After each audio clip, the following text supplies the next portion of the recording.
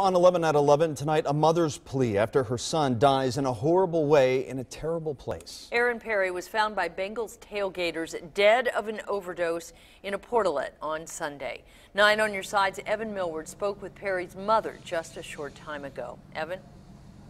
Well, Carolyn Craig, it sounds like a disgusting way to die, alone in one of these, shooting up your belt wrapped around your arm. That's kind of the point Aaron Perry's mom wants to make tonight, and she says by raising awareness about heroin use, that's how she will move on and how she will honor her son. Just share it. I don't show the porta potties. Show. Because that is it. That's real. That's reality.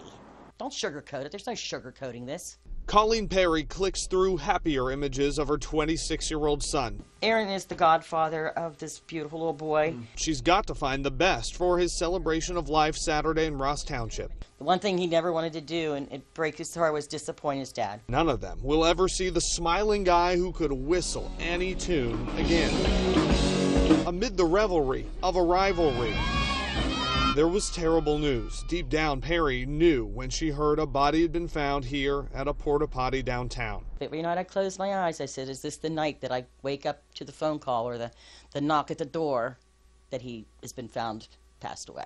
Perry admits she was an enabler, but then she set him up for jail and a third attempt at getting clean. He did. Then he was homeless, living in that porta potty for safety. I got to see him today, his his body today, and I and I said, I'm fighting this battle for you. She'll never stop missing him. No mother ever could.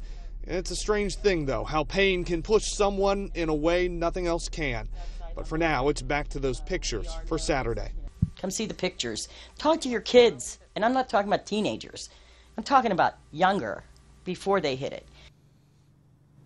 She is a mom on a mission now. That celebration of life will be Saturday at Ross Community United Methodist. What stood out to her and to many of us is that this is actually the second heroin overdose death found in a porta potty outside the stadium on a game day already this Bengals season. The first was back on October 8th. We're live outside Paul Brown Stadium tonight. I'm Evan Millward, 9 on your side.